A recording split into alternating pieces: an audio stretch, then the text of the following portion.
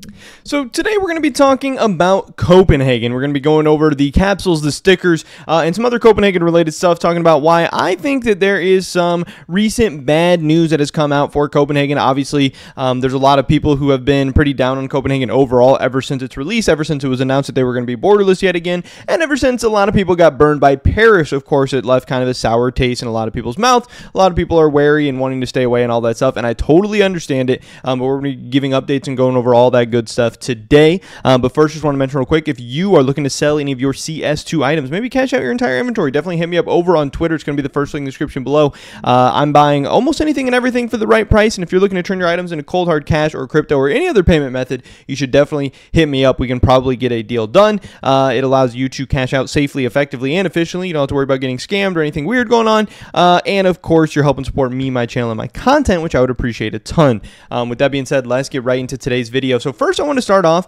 um, by giving an update on these. This is the Copenhagen Viewer Pass from 2024. Obviously, these were a hot um, topic of discussion uh, a couple months ago because um, they were removed uh, a lot earlier than a lot of people thought they were going to. So they spiked up in price. You know, they went from $11 to $30 overnight. Then they had this run up all the way to $67. I'm pretty sure people bought them for even more than $67. Um, but as you can see, they've kind of been going down since then, 45% down um, over the past month. So if you were somebody that bought them, you know, in the 40 50 $60 range, um, I don't know where exactly you're going to be sitting at in the long term because obviously um, there aren't very many of these Copenhagen viewer passes out there because many people thought they would have much more time to buy them and invest in them or whatever. Um, but also for the Copenhagen viewer pass, I don't think the viewer pass plus tokens uh, is able to be redeemed uh, after the fact now. I think in CSGO there was like a bug or glitch or whatever where you could um, actually redeem the viewer pass and tokens afterwards. So it actually gave the token some value later on. These don't have that. So um, the Copenhagen viewer pass has maybe been less valuable than some of the other previous ones, the, the ones with the tokens at least.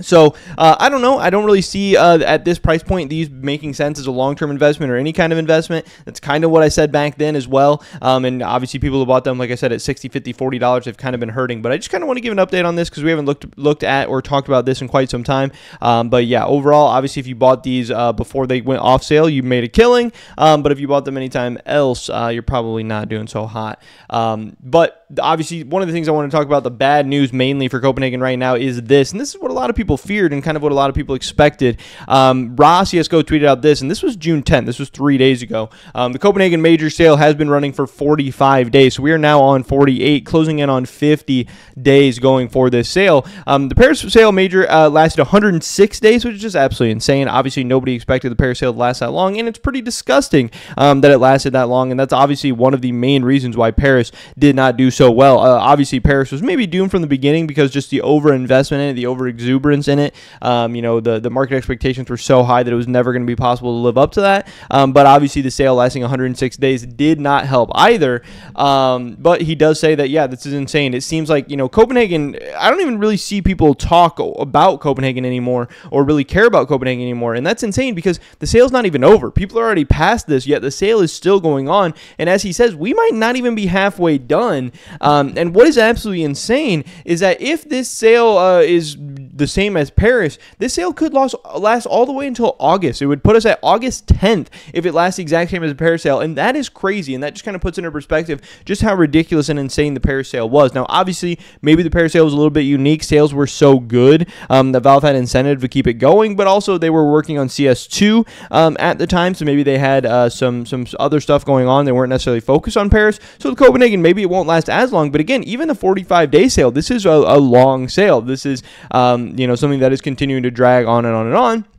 And that definitely hurts um, the long term uh, investment aspect of it. Now, could it end up still being a good investment in the long term? Yeah, but the longer the sale goes on, the longer you're going to have to hold these things. Um, and the longer you're going to have to hold these things, the longer uh, and higher percent chance Valve has putting out uh, more borderless stickers in that time. You know, you don't want to hold or be waiting for three, four, five years for this uh, stuff. And then in the meantime, you know, Valve has put out 10 new borderless sticker sets in that meantime. You know, I don't really know. Um, obviously, right now, overall, the market is very negative against borderless stickers because we've just seen so many of them. And also, the crazy thing here is, again, if the sale does go on to August 10th, the, the Shanghai Major is going to be right around the corner. Shanghai Major, I believe, starts in December. Um, you know, qualifying stuff for that's going to be in November. Uh, that's going to put us three or four months away from that. So then, really, as soon as the Copenhagen sale ends, Shanghai is going to be right around the corner, and there's already going to be speculations and fears of whether that's going to be borderless or not. There's going to be all that, um, you know, talk and discussion, and that's obviously going to to hamper um, the value of Copenhagen as well. Now, I do believe with all these borderless stickers, with Stockholm, Copenhagen, Antwerp, Paris, all this stuff,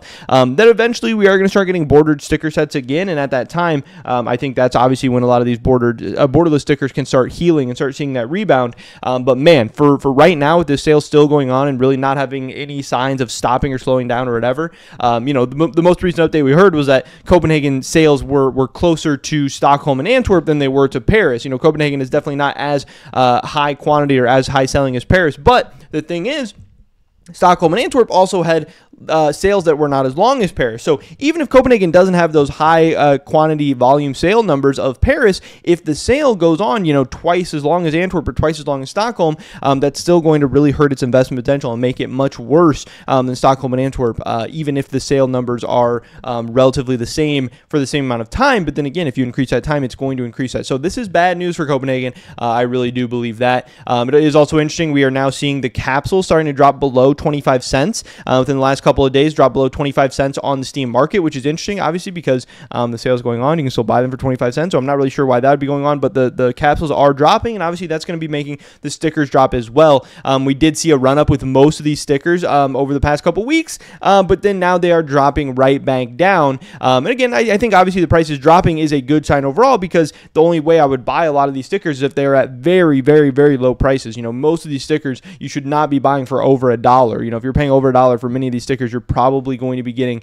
um, a bad price in the long term. Um, but we're seeing big, big, big drop off. You know, last five days, Amkal down 23%, um, Legacy uh, in the last five days down 20%. We are seeing Ecstatic in the last five days um, down 21%. We have Saw uh, in the last five days down 15%. Starting to have a little bit of a rebound. Um, the Lynn Vision on the higher end uh, down 15% in the last five days. Koi uh, in the last five days down 10%. So it's holding up a little bit better than some of the other ones, but um, even those high stickers still down 10 to 15% in the last week or so.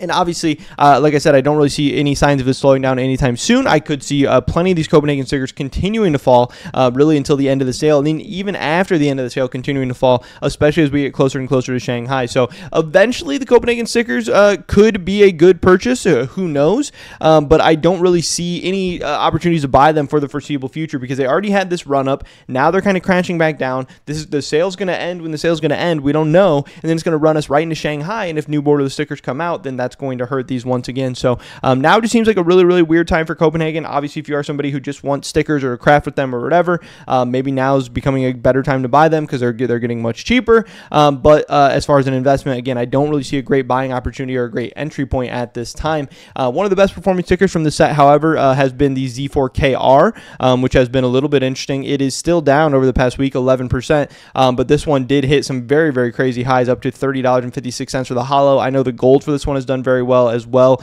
Um, people are really liking um, the Z4KR uh, autograph sticker, um, so maybe it's something to keep an eye on as well. Again, if the price continues to drop, you could maybe get this one for an attractive price at some point. Uh, but yeah, I don't know. For most of Copenhagen, things are looking pretty bad, and I don't know how long this sale is going to last. If we're going to get to Paris level numbers on the sale, or if it's going to end sooner rather than later. But if the sale does end sooner rather than later, that could be a really good, uh, could be a nice little bump for a lot of these stickers because I think people expect the sale is going to last a long time. Um, so if the sale ends up lasting not as long as people expect, um, that could be good for Copenhagen overall. But again, I'm not holding my breath for that to happen. We'll have to wait and see. Um, but that is pretty much it for this video today, guys. Hopefully, catch you in the next one. Until then, peace.